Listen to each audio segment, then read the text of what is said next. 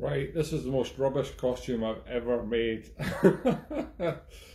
Time was pressing. Sorry I'm late, folks, but uh, great to see you. Uh, although it's probably not great to see me.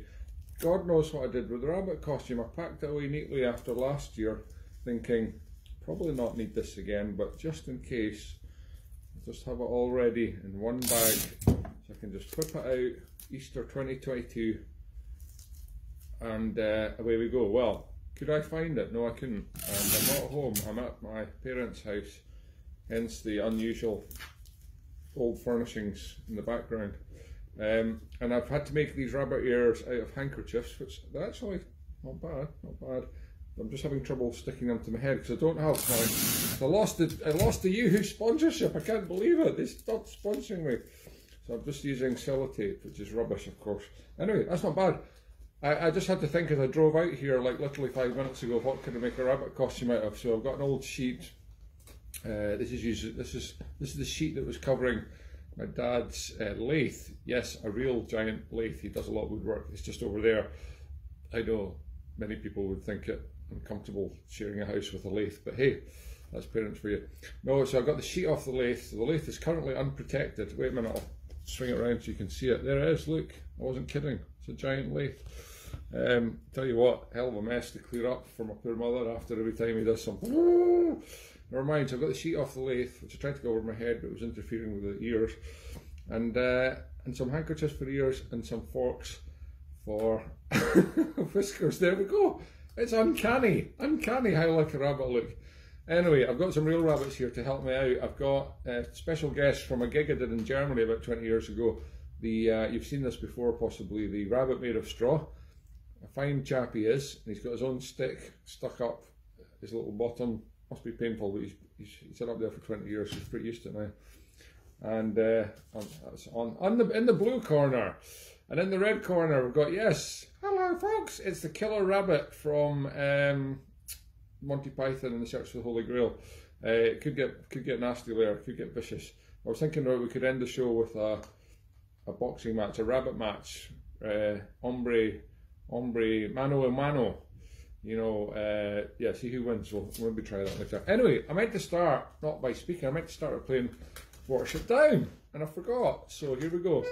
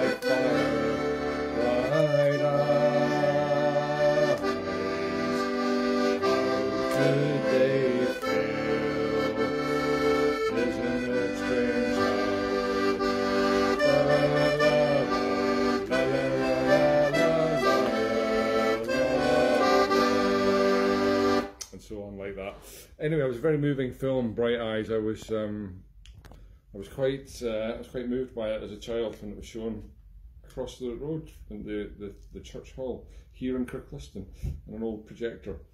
Uh, was that the one that broke down several times? The film I know it was one, film broke down. Maybe that was Gregory's film. Anyway, oh, it was it was terrifying. The the point where the farmers are digging the digging the uh, rabbit digging the spades into the rabbit warrens, and the rabbits are are running. Uh, uh, oh, terrifying, terrifying for a child. Uh, I was like watching, you know, uh, it's like watching Nightmare on Elm Street when you're five years old. It's really pretty, pretty uh, tough stuff.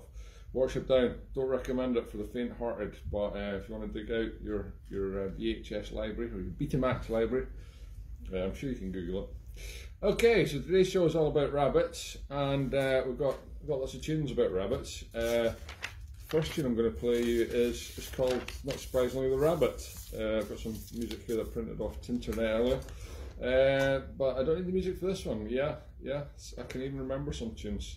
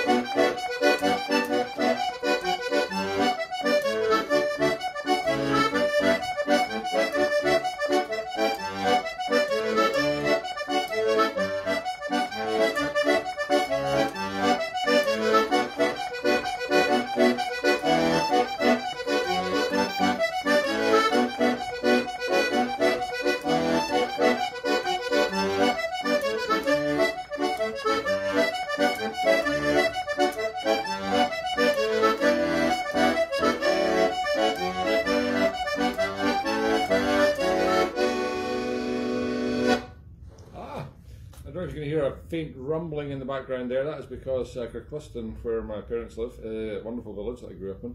Uh, however, uh, has a few minor drawbacks, one of which is it's at the end of airport runway number one for Edinburgh Airport, which means the, there's a constant uh, taking off and landing of uh, planes. It was pleasantly quiet uh, for the two years of COVID, unfortunately, most of that I couldn't come and visit and appreciate how quiet it was.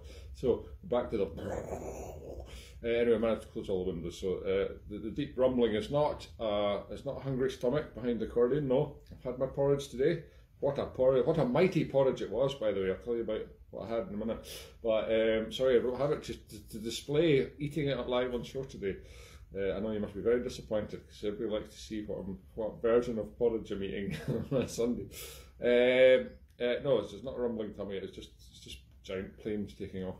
Um, yeah, so the porridge I had had blueberries, banana, spicy hot honey. Yes, uh, in your bonnet honey. It's a mixture of honey and Scotch bonnet chilies. Fantastic idea. That was Christmas present, was it? Yeah, Christmas present from uh, Debbie Warren. Very kind, very kind supplier of uh, props to the show as well, and uh, and props to my props to my stomach.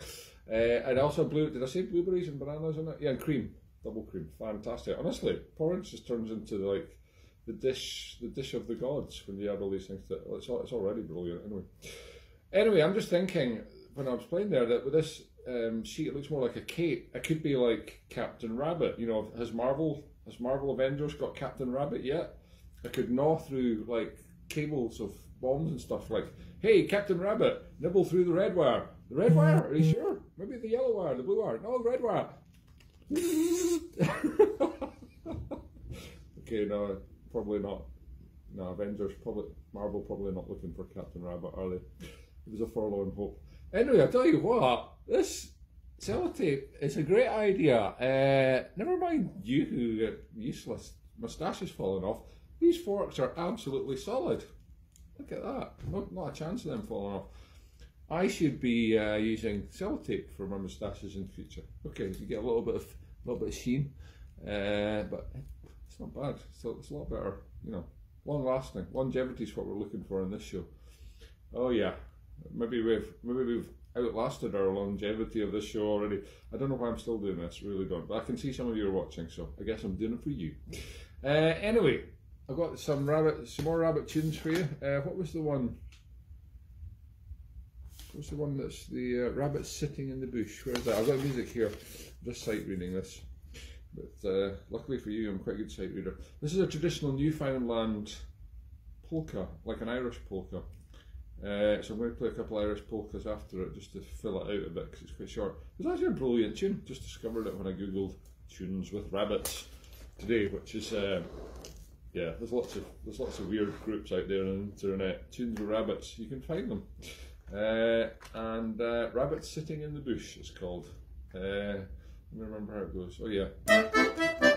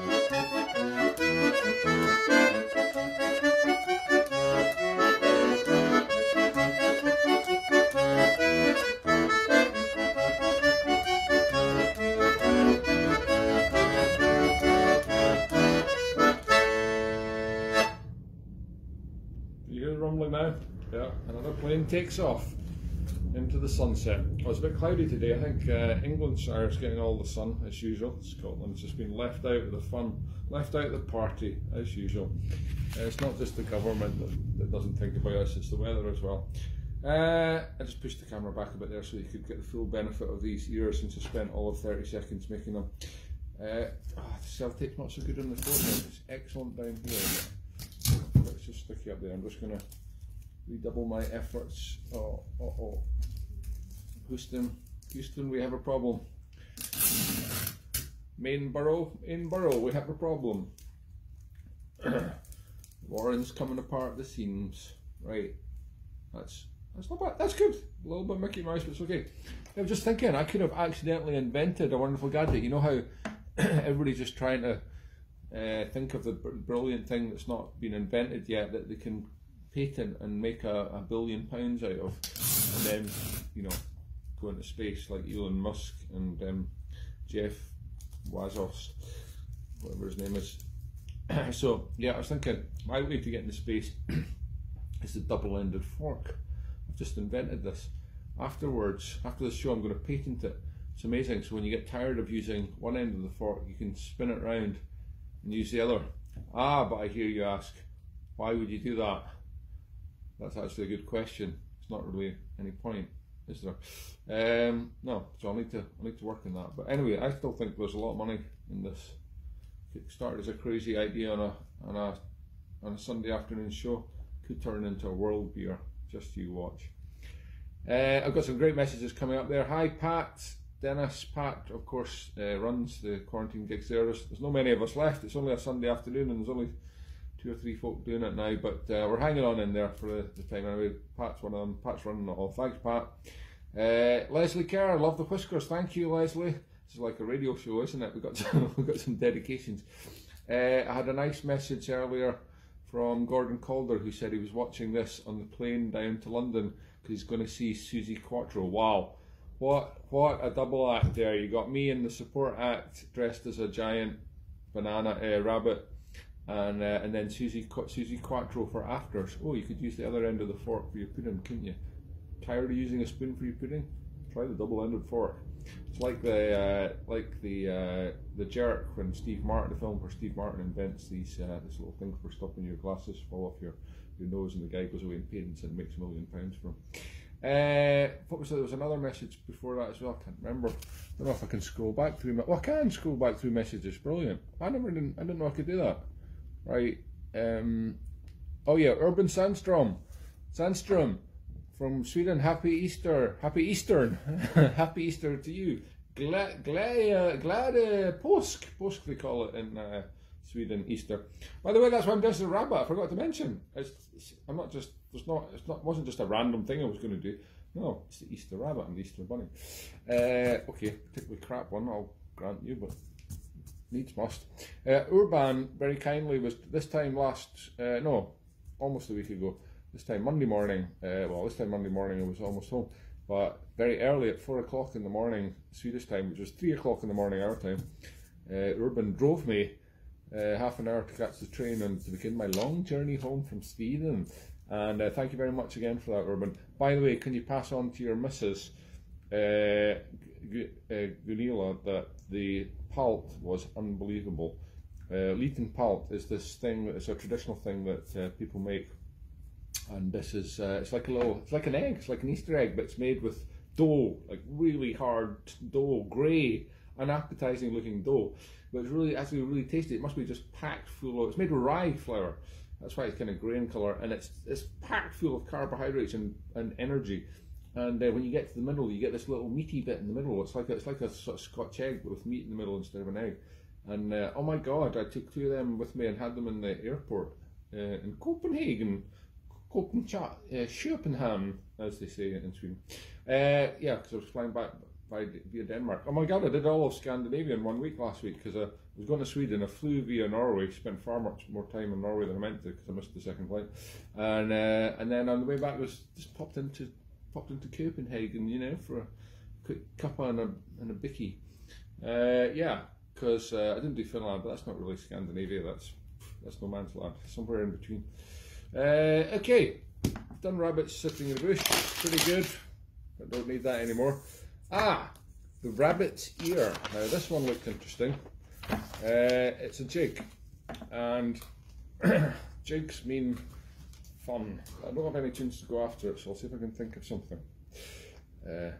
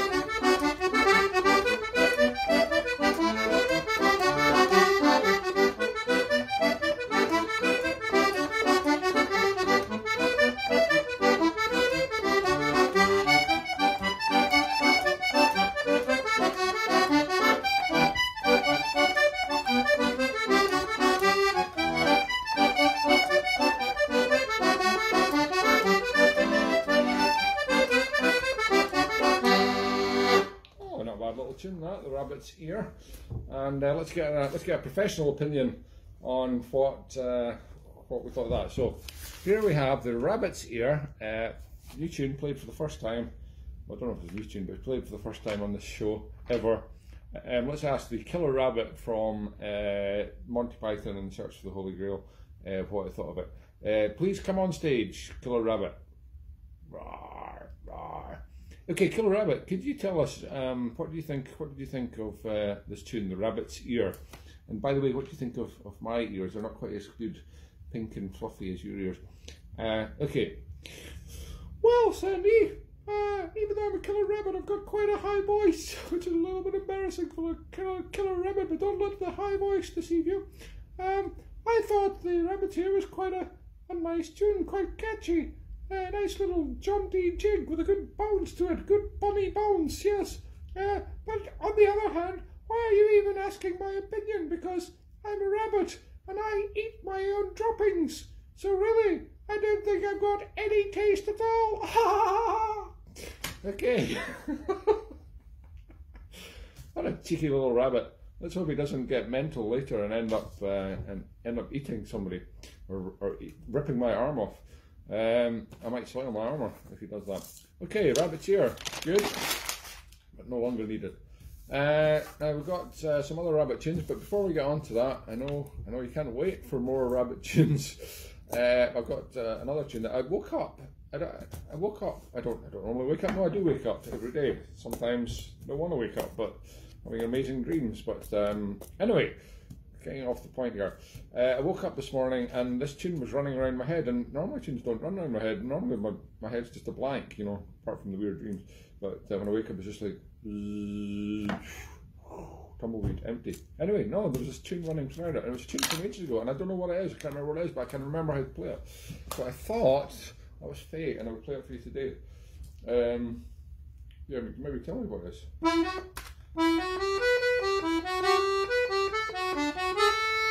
is.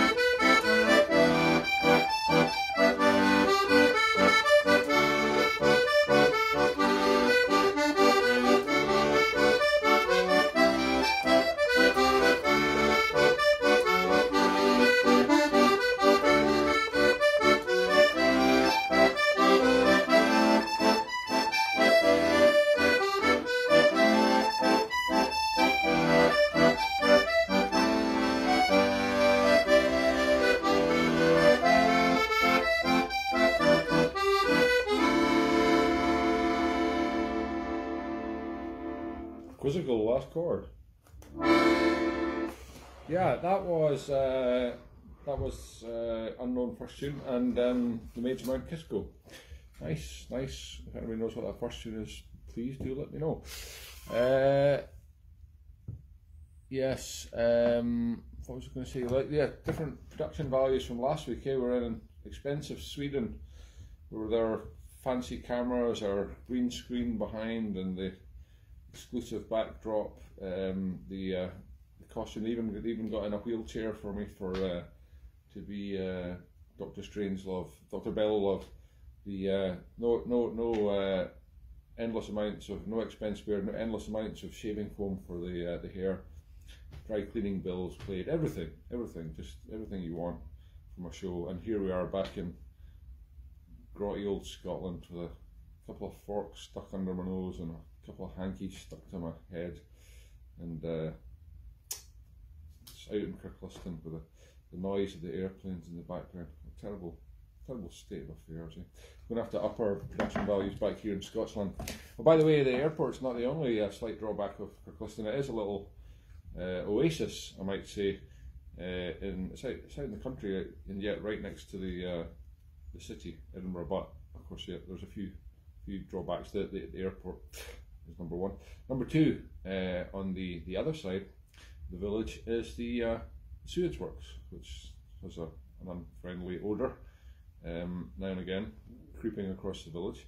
Uh, and then to the northwest, there's the spur uh, of the, the beginning of the M9, uh, which is the motorway to um, Stirlingshire.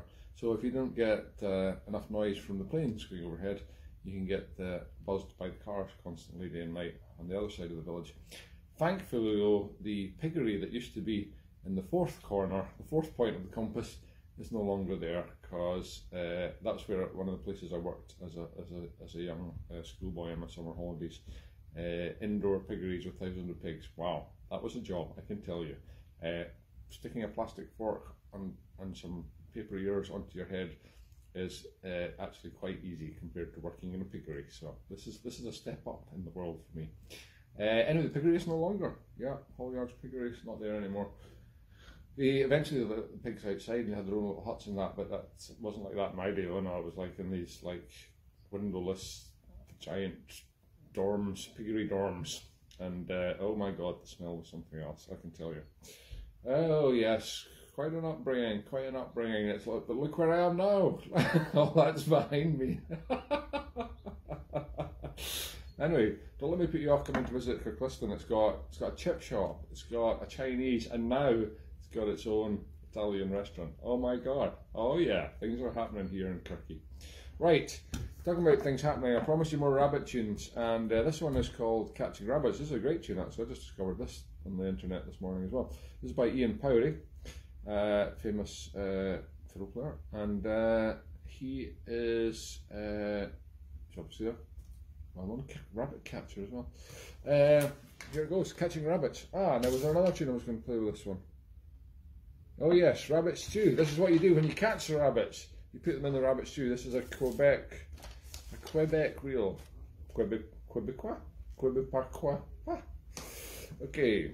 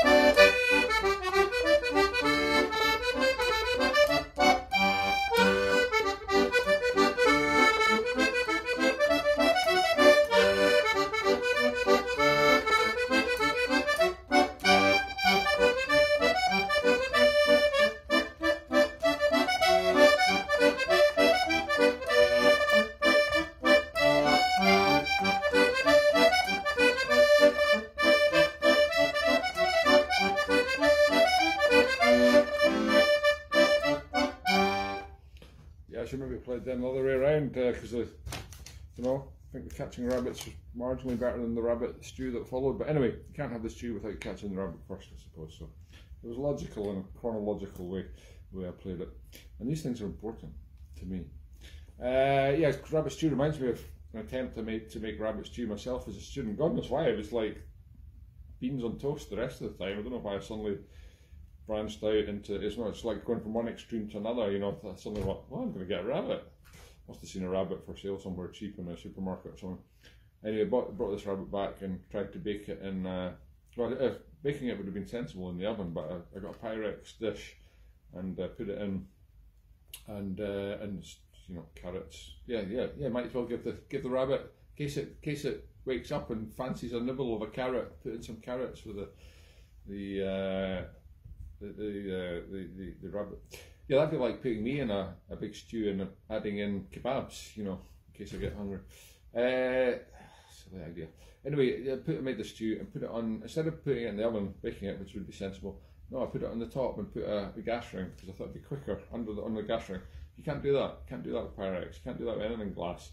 Because uh, what happens is it explodes, yeah. So I had uh, my first and last attempt at rabbit stew exploded, literally. I was lucky I wasn't killed. Uh, so yeah, rabbits are dangerous. So remember that, kids. This rabbit may look soft, cuddly, but these things can kill you. Particularly this one. This one is a. This one is deadly. See if it gets you in the neck like that. That's it. There's nothing you can do. It's almost impossible to get the tiny little teeth out of there. Right. Uh, oh my god! I can't believe it. The show's almost over. This is a crap show as well, but it must have been going really well if I've lost track of time. Well, I enjoyed it. Uh, anyway, can't finish the show without doing a special request, which is for a very good friend of mine, ex-pupil of mine. Became so good she didn't need my advice anymore. Uh, Kat Craig, who is going to be 50 tomorrow. Um, don't know if she knew I was going to tell everybody that, but there you go. it's too late now.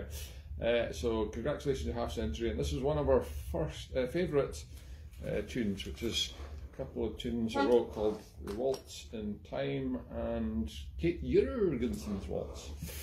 Uh, so this might probably be the last set. Actually, I've got well, I've got one more rabbit tune. I might squeeze in.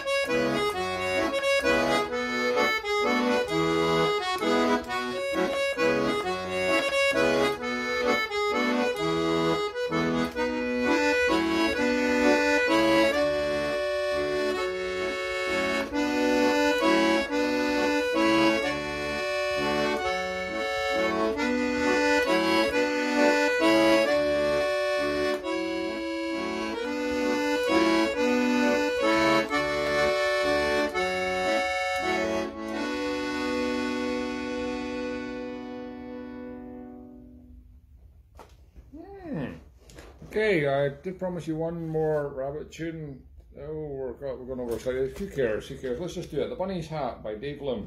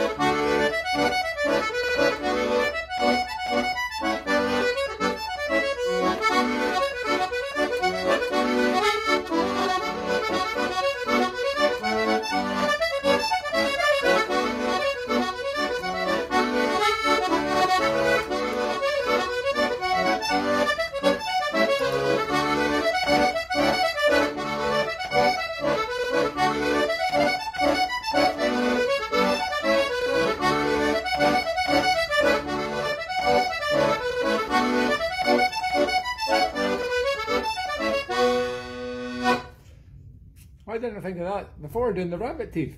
Oh, now that just completes the picture. Now it looks perfect. It looks like a real rabbit.